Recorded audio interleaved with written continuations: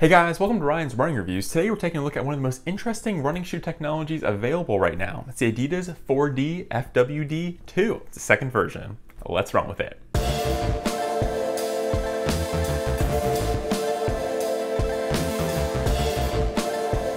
Before we get started, I do want to say these shoes were provided to me by Roadrunner Sports. However, didn't have a chance to preview this video, and this file synopsis is my own.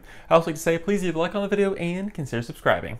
Here we go. The Adidas 4D FWD2 is a neutral setup meant for casual running and or lifestyle wear. It's kind of a performance sneaker and or sneakerhead sneaker, so it kind of has its foot in both camps, pun intended. This shoe costs $200 mainly because the midsole is 3D printed. I'll go into all of those details later on in the review. It does come in at a substantial 12.4 ounces, which is on the heavier end of things. And as far as stack height goes, with this very interesting setup, it's gonna be 32 millimeters in the heel and I believe 20 in the forefoot for 12 millimeter drop. So kind of in line with the Ultra Boost setup. The upper has been updated this year to a two material approach. The first material being Prime Knit Plus. It's this black material here that gives you that sock-like fit, very stretchy, very elastic, rather comfortable. But to contain this elastic material, they use this white engineered mesh material, which is a little bit more sturdy, a little bit more well structured and keeps everything well contained. So that's a more conventional, typical engineered mesh. So this two layered approach gives you some elastic sock-like feel and a more conventional locked in fit, which I think pairs nicely off each other. Now to combine these two, they have this kind of rubberized uh, or kind of plastic overlay that connects the prime knit and the engineered mesh to give you a very seamless, consistent feel. I thought the upper was very comfortable. It's a very snug experience, and I think it does run a half size small. My toe is pretty much at the end, even though I was in my correct size, so I do recommend going up half a size. But overall, it's very snug, very comfortable, kind of sock-like feel with that containment along the edges of more traditional engineered mesh. There is no tongue here. It's kind of what you expect from a knit upper. It's all one piece, very seamless, very consistent feel with a more dense material at the top that is rather elastic as well. The back of the shoe has also been updated. You have a very sturdy, very strict heel counter with a large elf air pull tab that does help you get in and out of this shoe. Now I will say because this heel counter is so massive and so sturdy, I did have some rubbing with my ankle bone on the side, so it is rather aggressive. However, because it is so large, I thought the lockdown uh, was superb. I didn't have any heel lift, which I think is quite important when you have a shoe like this with a single piece knit upper. The laces don't have to do so much, mainly because it is a snug fit and it runs about a half size small. So I felt very locked into this platform platform and I didn't feel like my foot was going anywhere despite the elastic nature of that prime knit. As far as the breathability goes, I was quite surprised, especially because this is a knit shoe and knit shoes tend to run warmer. The breathability is definitely decent, it's nothing amazing, but I was quite surprised by the level of ventilation that this prime knit brought. The outsole has been upgraded to Continental rubber. Adidas does this with their more premium shoes, so I'm happy to see they brought it to this model, just a slightly higher quality of rubber. Now you do get a decent slab from heel to toe, full rubber coverage here with moderate lugs.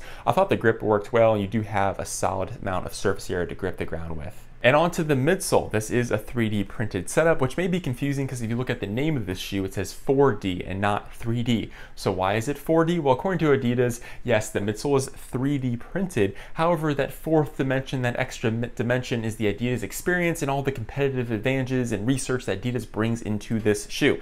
So it's a little bit of marketing, a little bit of hype there, but it's that extra dimension that Adidas brings to the 3D printed midsole. So they went with 4D. This 3D printed midsole has a very interesting manufacturing method. They use something called a carbon digital light synthesis. So they have a special light that projects an image with a certain pattern on it onto this liquid called resin, and then they just move it up slightly as it starts to solidify or cure, and they do layer by layer as they slowly kind of lift it out of this liquid. And then you have this full structure. They take the full structure, they bake it at a super high temperature, and then it fully solidifies, giving us this very interesting look lattice structure. Now, now, Adidas has been working on this according to them for like 18 years. They've had millions of versions. They've narrowed it down to this particular setup.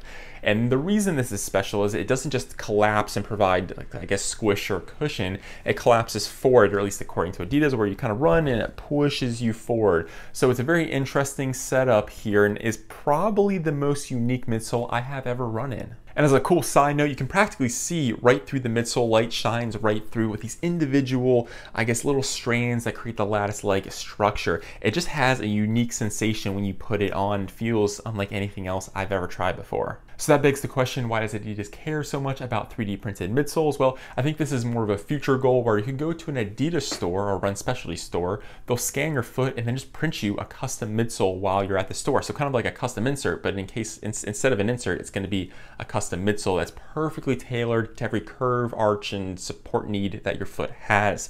So quite an interesting approach here. We'll see if it actually plays out that way. But for right now, we kind of have the, the one size fits all 3D approach.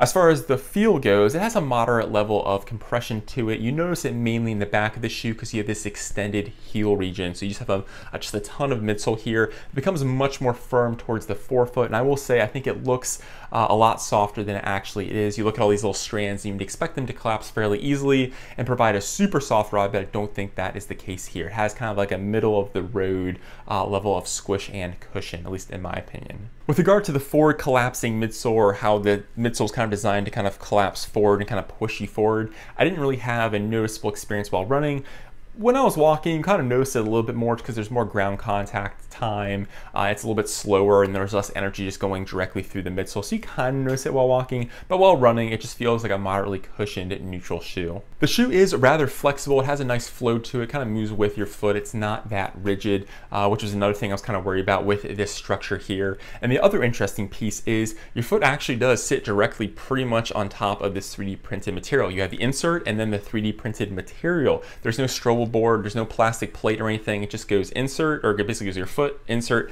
and then a 3D printed material, which is quite surprising. So at the end of the day, is this a runnable shoe? And I'll say yes, you can run in it. It works fine. It performs as a running shoe. However, I wouldn't say it's optimal uh, with regard to daily training, or it's not probably not the best option if you're looking for true performance, mainly because it's 12.4 ounces, and I don't think this midsole offers the best energy return for the weight.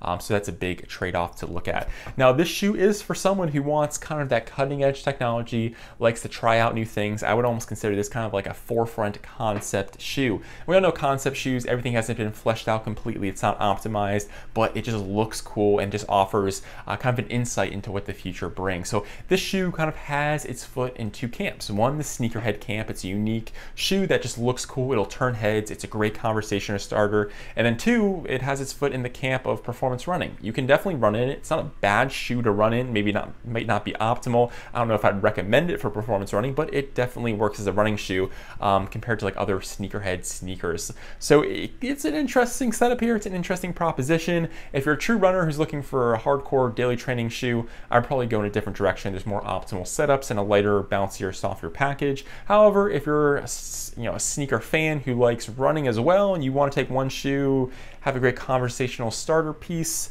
I think this might do it. Just a very interesting setup.